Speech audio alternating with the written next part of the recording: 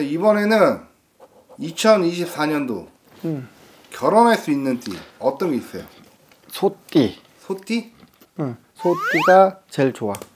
아 소띠가 결혼할 가능성이 좀 많다. 결혼할 가능성 지금 이제 내년에 소띠가 결혼하면 좋지. 그리고 결혼 운도 제일 많이 들어오고 연인이 많이 나오지 내년에 소띠가. 음.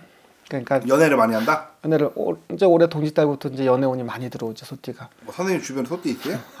없어. 만나려고? 나랑 소띠랑은 안 돼. 그 소띠랑 궁합이 잘 맞는 띠는 뭐가 있어요? 소띠랑? 어 어째 따지면은 이제 띠로 보 띠만 보면은 와 내가 볼 때는 제일 잘 맞는 거는 몰라 소띠랑 개띠랑도 잘 맞는 것 같아. 아 소띠랑 개띠랑 잘 맞는다? 음, 이제 이 궁합을 보면 어찌 보면 안 맞는 띠인데 잘 맞아 의외로 어. 잘 살더라고. 소띠하고 개띠가 만나면 잘 살아. 근데 소띠하고 닭띠가 만나면 못 살아 잘. 아 소띠하고 닭띠는 만나지 마라.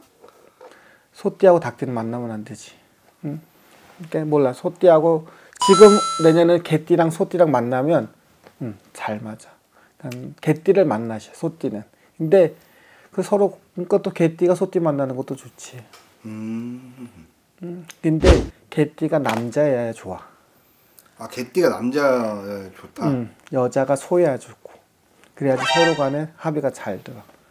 그러니까 서로 그런 걸 잘 맞춰서 내년은 몰라 소띠들 결혼 많이 했으면 많이 할 거야 이제 소띠가 그런 운이 많이 들었으니까 뭐 선생님 신도분들 중에 뭐 소띠 있어요? 뭐 결혼한다 그랬어요? 난 무슨 띠인지도 모르는 사람이 더 많아 일단은 소띠가 결혼할 가능성이 결혼할 제일 크고 제일 좋다 개띠를 만나는 게 좋다. 응 개띠가 남자여야 된다